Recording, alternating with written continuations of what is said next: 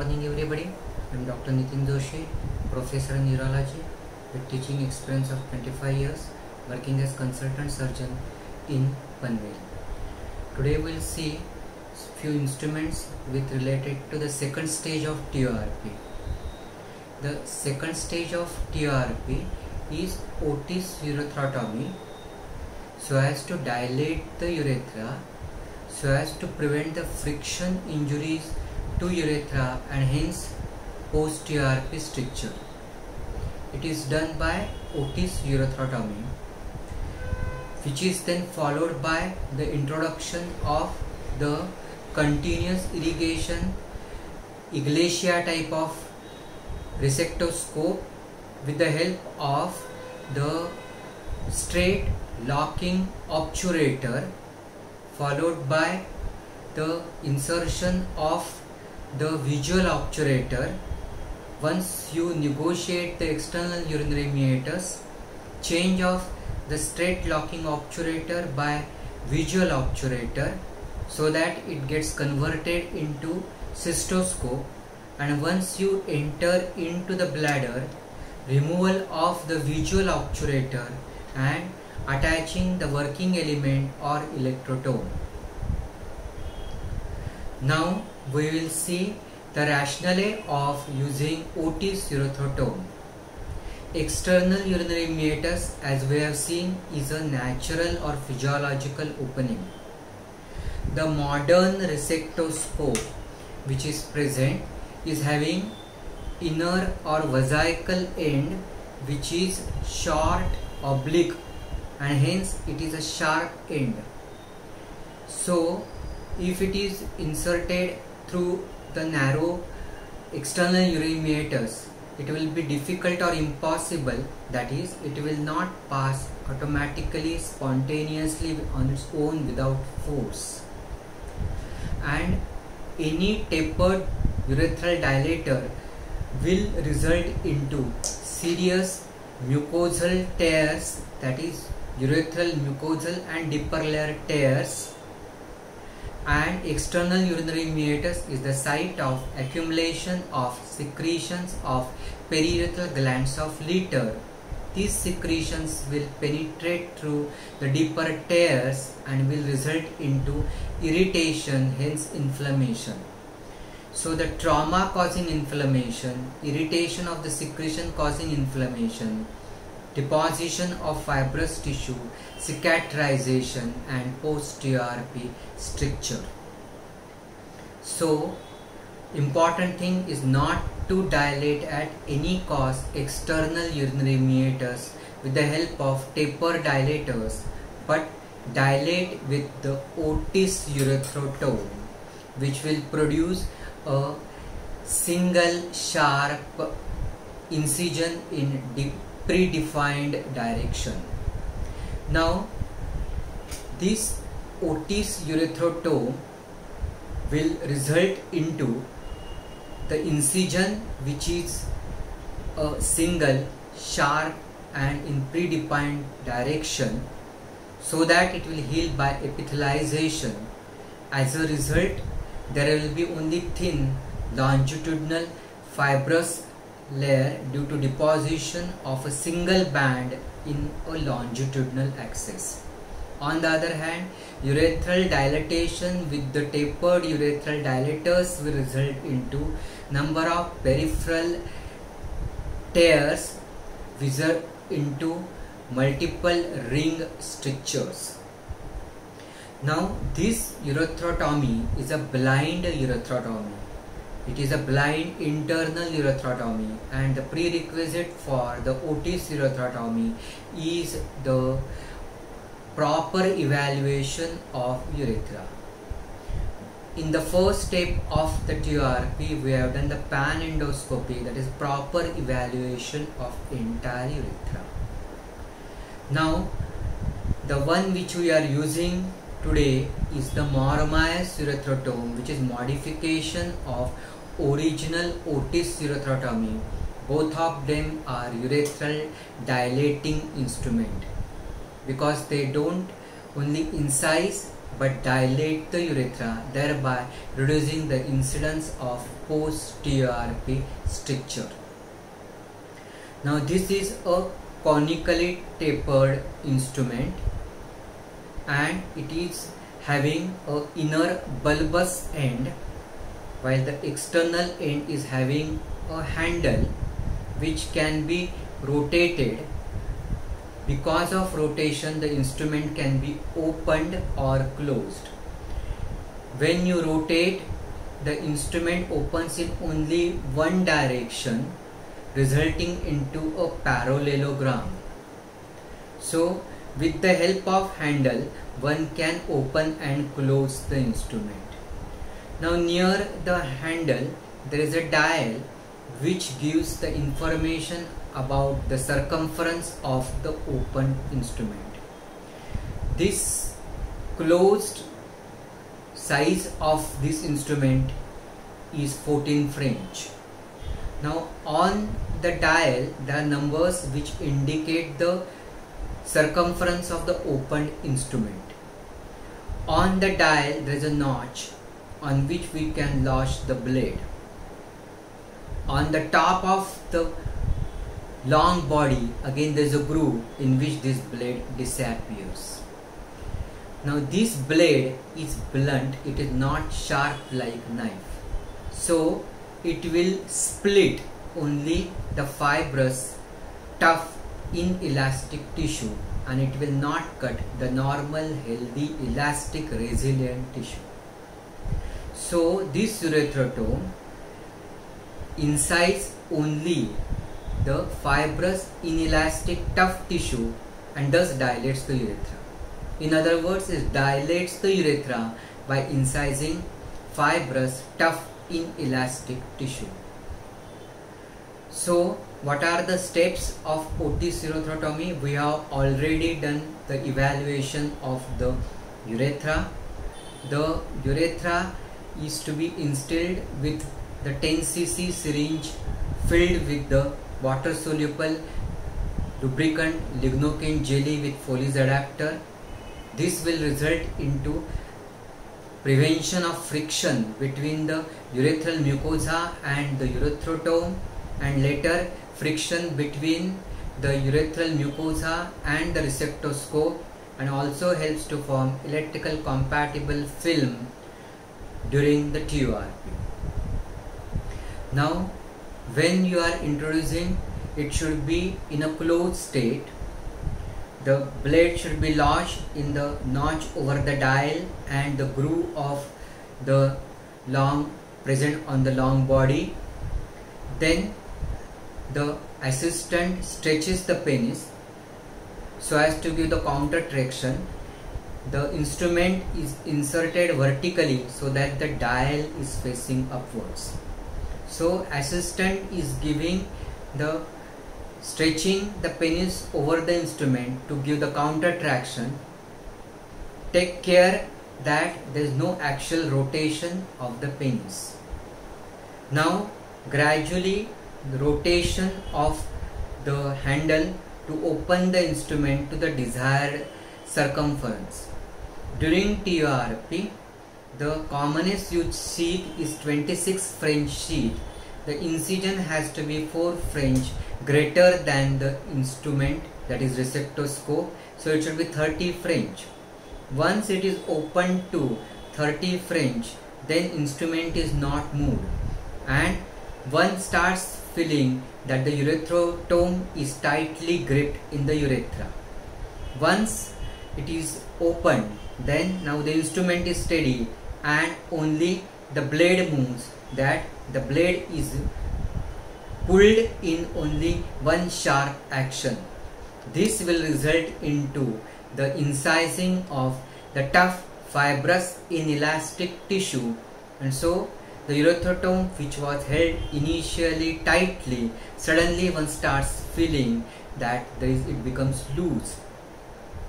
Now once the incision is given one has to derotate the handle to reduce the circumference but do not close it completely.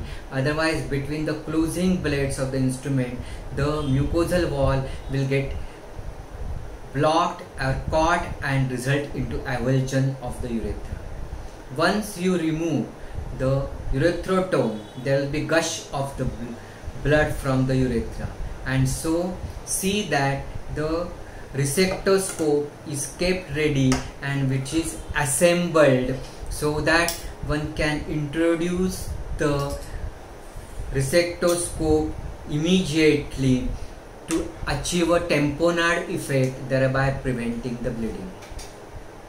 Now even if the external urinary meatus is adequately dilated by Otis urethrotomy, the modern resectoscope is having the inner end which is short and oblique and hence vesical end is sharp.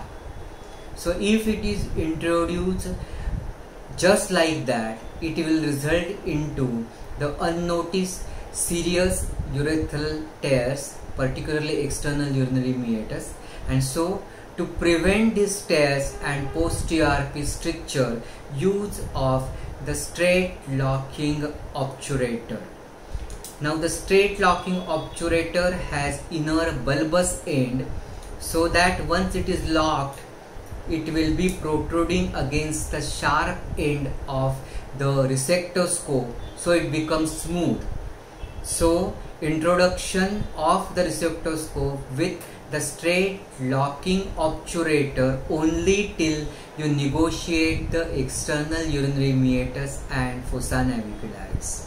Once you have negotiated external urinary meatus, then introduction of visual obturator which has got provision for introduction of 0 degree or 30 degree scope so that it becomes like a cystoscope so you introduce from the penile urethra, bulbar urethra, membranous urethra and the prostatic and the bladder neck like a cystoscope.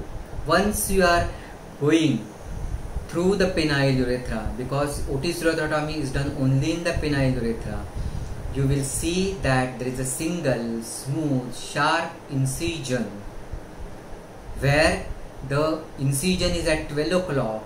It has incised only tough inelastic tissue but there is no damage to normal healthy urethral mucosa. Once you are into the bladder then again removal of the visual obturator and you will introduce the working element which is also called as electrotome or surgical operating unit. Now this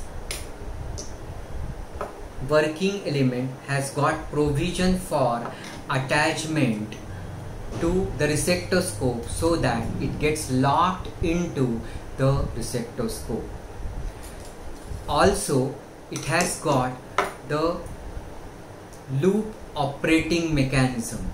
There are two types of loop operating mechanism. Nesbit thumb operating loop operating mechanism and the Brombacher's finger operating element.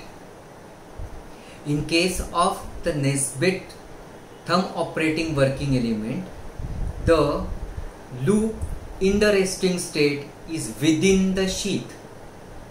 In case of finger operating, Brombacher's finger operating, the loop is extending out in the resting state and so it is dangerous.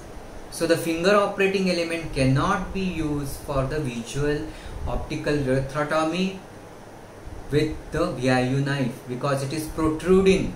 It may damage the urethra. Here in case of the thumb operating element, Nesbit operating element, one has to press so as to push the loop out. And so when it is pushed then there is an activation of the spring action.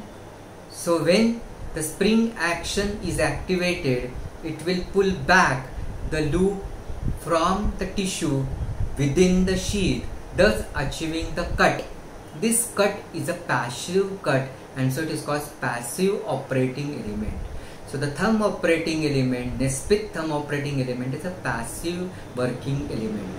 Since it is passive, the cuts are controlled. But since it is passive, the rate of cutting is slightly slower.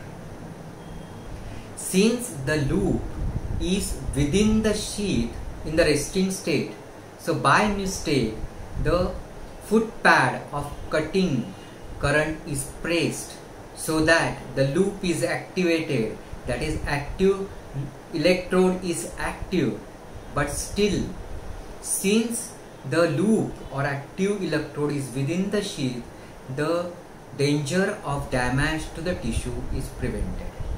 Also since any element that is loop or ball electrode or the VIU knife when it is attached in resting state it is within the sheath so the thumb operating element can be used for visual optical urethrotomy for the treatment of stricture. Now the resectoscope sheath. Now the resectoscope sheath there are available sheaths are from 22, 24, 26, 28. Commonly used sheaths are the 24 and 26 which are color coded yellow so they are color coded loops also which are also yellow depending upon the sheath having the beak they are classified into short beak long beak or short oblique. The modern resectoscope is having short oblique beak. Now this particular sheath if you see this sheath depending upon the material used they are classified into different types. Why this is because the metal sheath if it is there then this metal sheath is also a good conductor of electricity. No doubt it gives stability.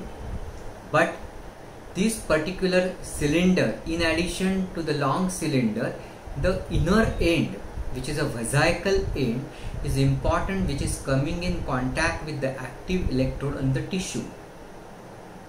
And in case of monopolar cautery the between the active electrode that is loop or hook and the passive electrode that is patient pad the body forms the part of the circuit. And the distribution of current in the body between active electrode and passive electrode depends upon whether the inner end is insulated or not. Because if it is entirely metallic then it has got high conductivity for electricity. Metal being the good conductor of electricity as compared to tissue and being good conductor of electricity generation of very high temperature in the active electrode which will be transmitted to the metal thus this high temperature will cause damage to the instrument at the same time, high temperature will be carried from the metal sheet to the urethra causing damage to the urethra and stricture. And so the inner end has to be bad conductor of electricity and so original material was bakelite Stern McCarthy resectoscope made up of bakelite. However, it is fragile, easily damageable and hence it was changed to Teflon material. But Teflon, one, you have to check the any faults in the um, coating in the material because repeated checks are important because any faults in the material of the Teflon will result into leakage of high density currents resulting into damage to the urethra. Also, it is not compatible with water soluble lubricant jelly as it is water repellent. So the newer material which is used in modern resectoscope is TMC that is Teflon, metal and ceramic.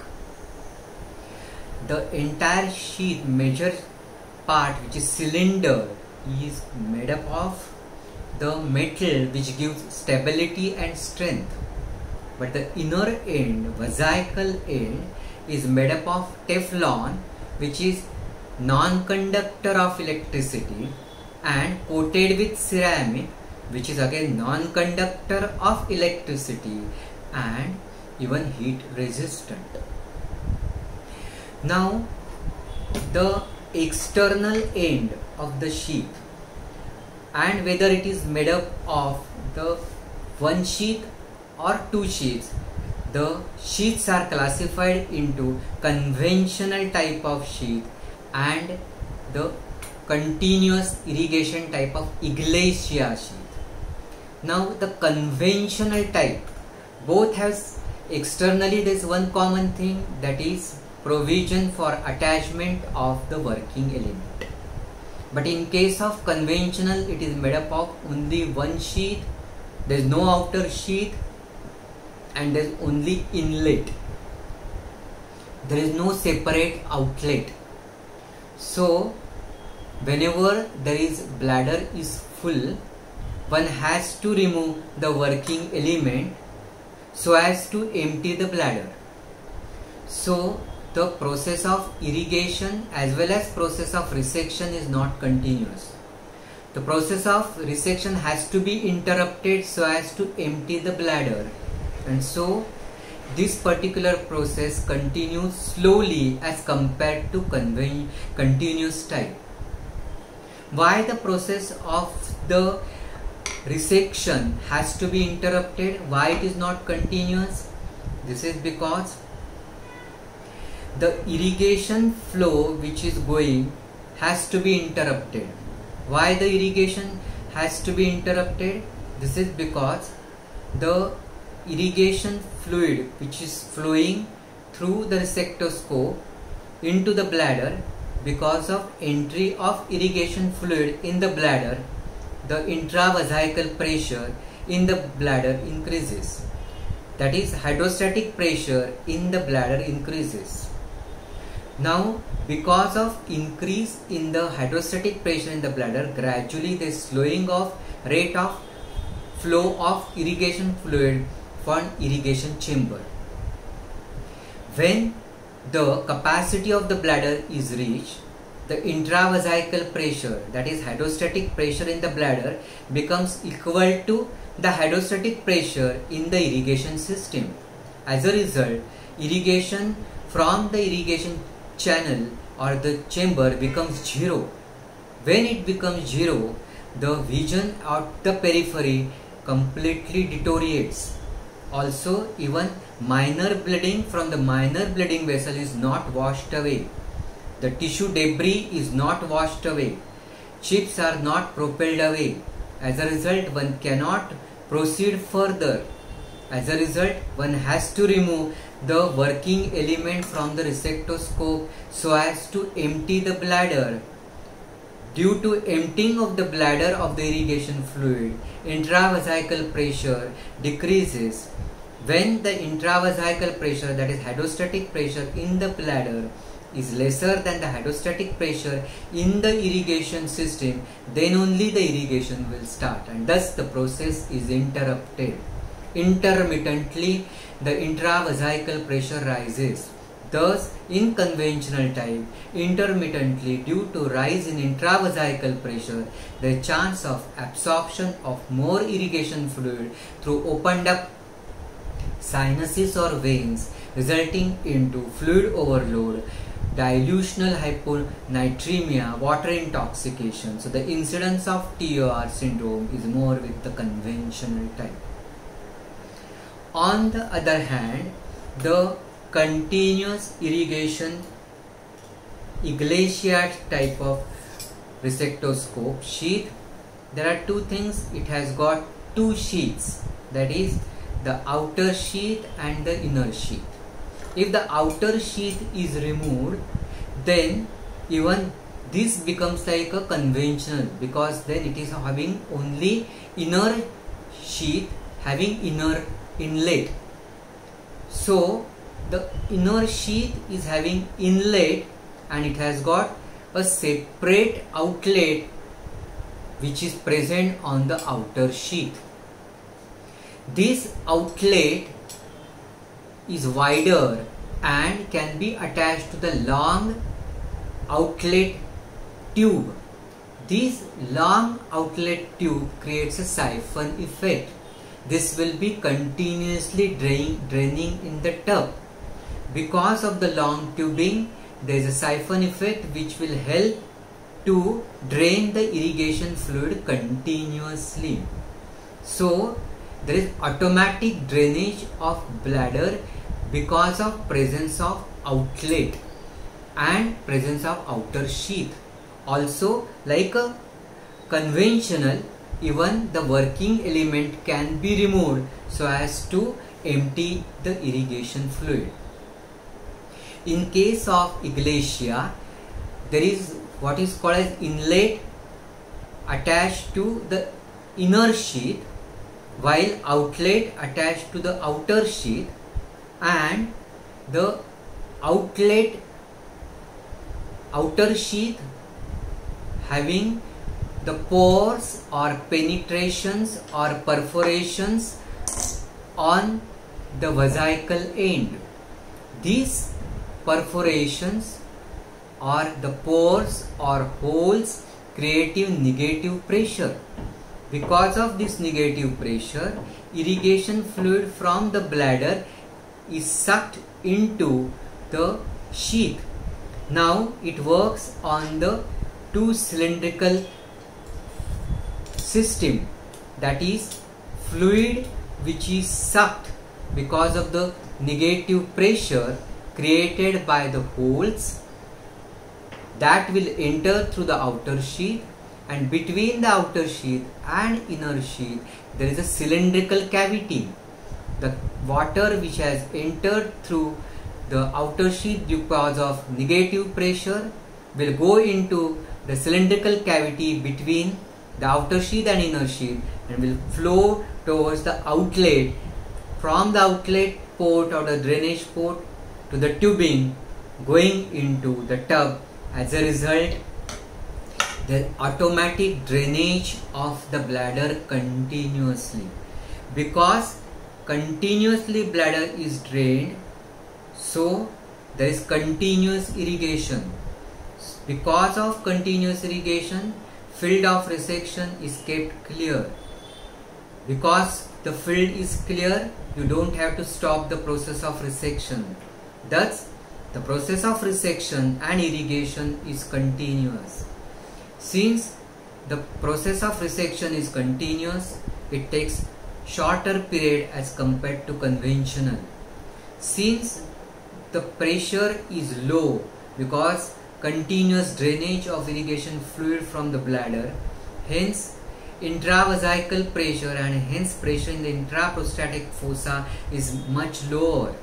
As a result, the absorption of the fluid through the opened up sinuses will be much lesser than conventional and thus the incidence of the TUR syndrome will be lower than the conventional type.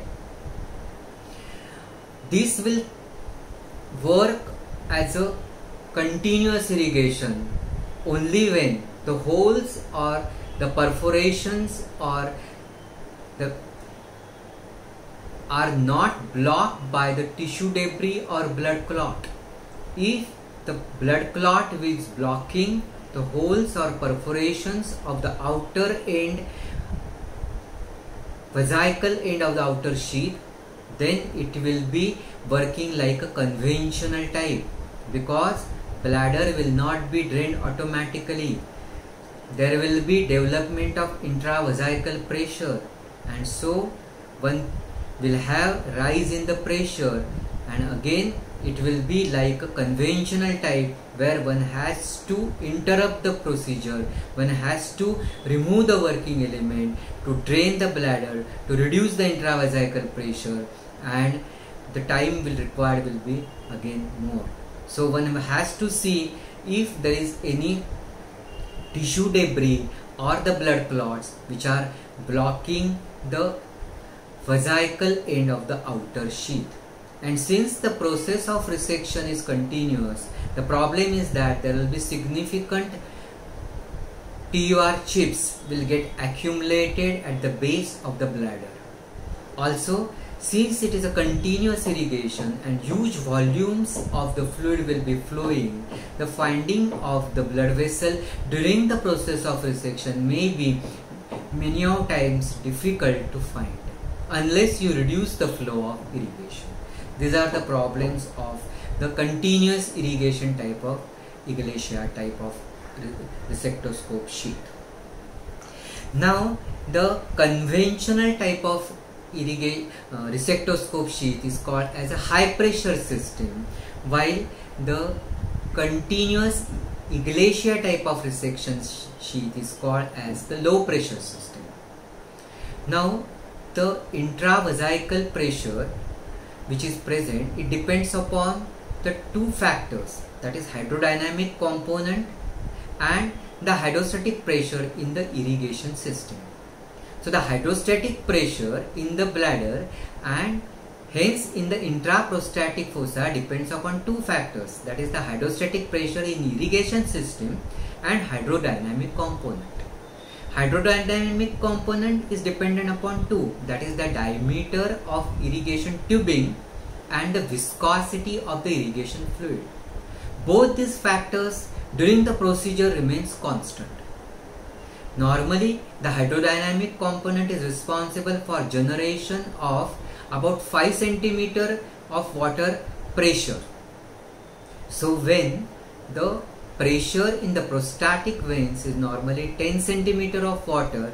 It is the hydrostatic pressure in the irrigation system which is important because studies have shown when the hydrostatic pressure in the bladder is less than 20 centimeter of water the probability of development of TUR syndrome is much lower. Now the factors on which this hydrostatic pressure in the bladder depends is one that is the hydrostatic pressure in the irrigation system. And the hydrostatic pressure in the irrigation system depends upon three factors and that is one the height of irrigation fluid in the irrigation chamber above the symphysis pubis of the patient. Second whether supine position or Trendelenburg position. And third that is what type of resectoscope that is continuous type or Iglesia that is the Iglesia type or the conventional type. The studies have shown that the height of irrigation fluid in irrigation chamber if it is up to 60 centimeter then the chance of development of TUR syndrome is less.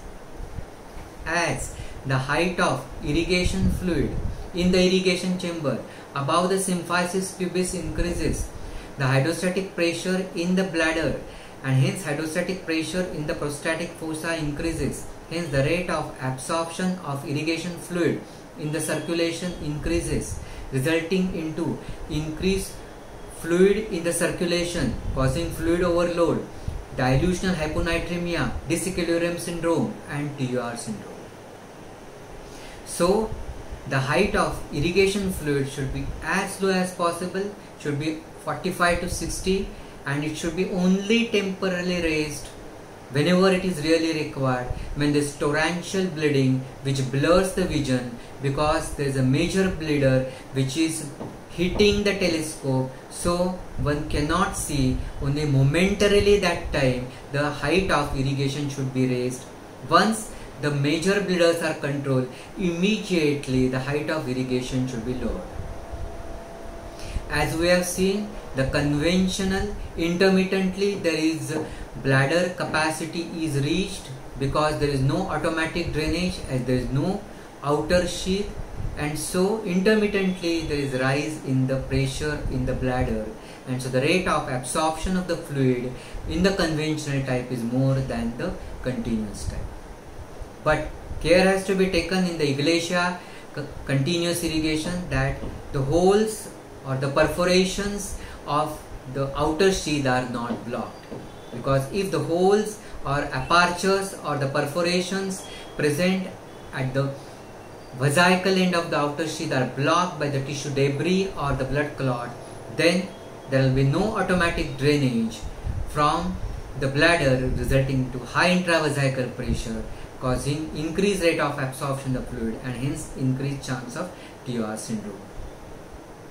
The supine position, the height, the hydrostatic pressure and hence the height of irrigation fluid above the symphysis pubis will be lower. As soon as you make the head low position, Trendelenburg position, naturally the height of irrigation fluid increases and so the Trendelenburg position should be used only when it is required and that is during the resection of 11 o'clock to 1 o'clock position. Rest of the time it should be supine, there should be no head low position so as to reduce the chance of increasing the high hydrostatic pressure in the bladder and prostatic fossa, thus increasing the risk of TUR syndrome. Thank you very much.